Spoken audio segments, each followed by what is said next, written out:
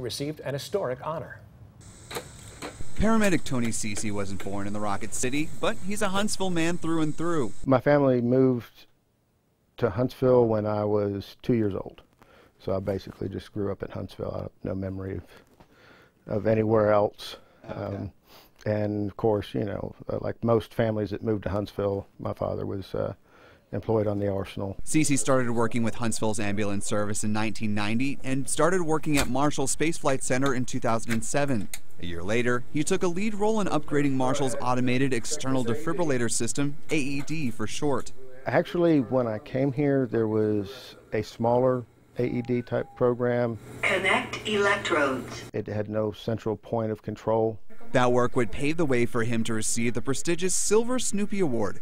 The pin is given to fewer than 1% of NASA employees and contractors. It's awarded to those who make significant contributions to flight safety or mission success. Out of the nearly 4,900 pins awarded at Marshall, Ceci is the first paramedic to receive the award.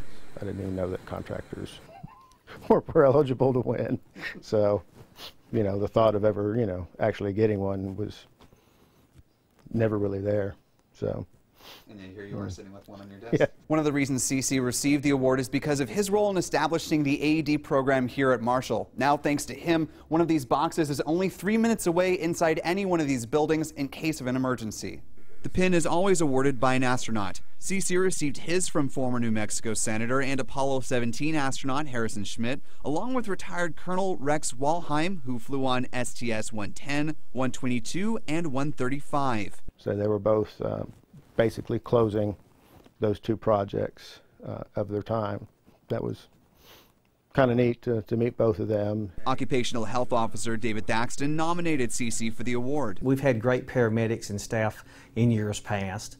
Uh, but Tony has really stepped up to the plate and uh, instituted our AED program and built it from the ground up, and we thought that was worthy of recognition. It's good. It's, it's nice to, to be recognized. Whenever we can give people the tools to keep bad things from happening, it's, it's a good thing. The Silver Snoopy recipient is now working to update to the latest AED equipment and find more ways to improve safety at Marshall. Reporting at Marshall Space Flight Center, Will Robinson Smith, WAAY 31 News.